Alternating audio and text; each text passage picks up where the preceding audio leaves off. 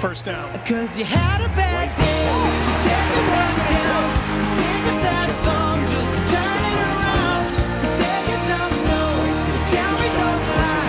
You wear that smile and go for a ride. To their offense. Play action from White. Delivers that is picked.